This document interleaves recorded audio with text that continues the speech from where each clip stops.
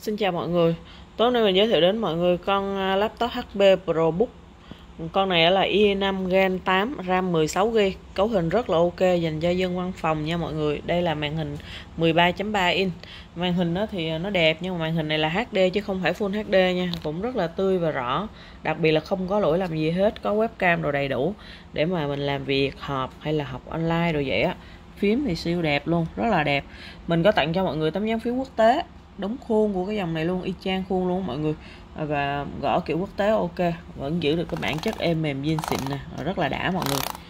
Kéo ra rất là mượt luôn, đánh kiếm kéo là không bao giờ nghe tiếng động luôn, rất là đã mọi người, nó mềm lắm. Phần à, phần này thì quá đẹp luôn mọi người. Ít có khi nào mà nó đẹp như vậy lắm như nó hay bị cứng một chút xíu hoặc là bị mòn mòn bóng bóng. Còn đây là rất là đẹp nha, mình không thấy mòn bóng gì luôn á. Cái phần này là cái phần vỏ nhôm, mướt rượt luôn i5 Gen 8 nha. Đây, lấp lánh, sạch sẽ, đẹp. Cấu hình. Nói chung là nguyên cái phần này là rất là đẹp rồi, mình cảm thấy như vậy là ok. Giá thì rẻ thôi mọi người. Cấu hình nè HP ProBook 430G5 i5 Gen 8 RAM 16GB đó ừ, cấu hình thì Gen 8 rồi mà RAM 16 là quá thoải mái cho văn phòng và đây nè, đặc biệt cái cho cái dòng này là nó chạy được song song hai cái ổ cứng. Một cái là SSD một cái còn lại là HDD chạy song song như thế này thì SSD sẽ là chạy chương trình, cho nên là chạy rất là nhanh luôn, chạy bằng SSD mà. Còn khi mà mình chứa thì mình chứa bên cái HDD này rất là thuận tiện mọi người. Sau này cũng mình dễ dàng nâng cấp nâng cấp SSD hoặc HDD đều được hết. Nâng cấp cả hai đều lên để mình tha hồ mình chứa. Và chỉ có những con máy nào mà chứa được ờ, có, chỉ chạy được có một ổ thì nhiều khi mình uh, gọi là là nó cũng không có tiện cho mình. Nhiều khi mình muốn nhiều hơn muốn chứa nhiều hơn rồi muốn ổ này ổ kia mà mình không muốn tốn kém khi mà mua nhiều thì uh, chạy song song với HDD vậy rất là tiện luôn. À, bỏ vô HDD là khó mất dữ liệu lắm. Mất cũng dễ dàng lấy lại được không có như SSD đó rồi. Ở bên ngoài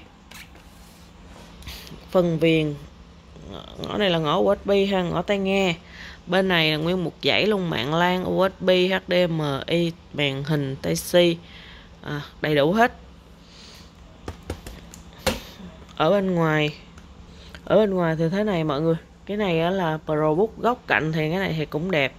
Cái con máy này nó bị duy nhất một cái là bị vết xước ở đây do quá trình vận chuyển của mọi người. Che cái này đi. Thì nhìn ở trên này đây là nó đẹp lắm luôn mình thấy là tương đối đẹp nói chung là cái này là bị keo thôi nha, tương đối đẹp.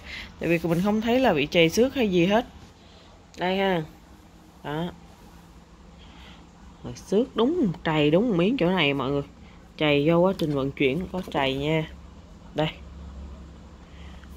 Rồi và mình báo giá mọi người thì cực kỳ tốt luôn. Con máy này vừa chạy HDD vừa chạy SSD RAM 16 Gen 8 pin đó thì hả rất là trâu luôn pin này trên 4 giờ. Thường thường thì pin ờ, cũng ấy nhưng mà con này thì pin còn nó dường như 100 trăm luôn á. Nó chỉ là bị mỗi cái tay này thôi chứ còn mình thấy là mọi chức năng của nó là ok hết luôn á. Giá cực kỳ rẻ 4 triệu 7 ai chốt có thì inbox mình nha 4 triệu 7 cho cái con này. À, vỏ là mình thấy là cũng ước gì mà che cái chỗ này đi thì quá đẹp rồi. Không có phải che cái gì luôn từ trong ra ngoài. Rồi 328 4 triệu 7 ai chốt thì inbox mình ha. Cảm ơn mọi người đã xem kênh và đăng ký kênh của mình nha.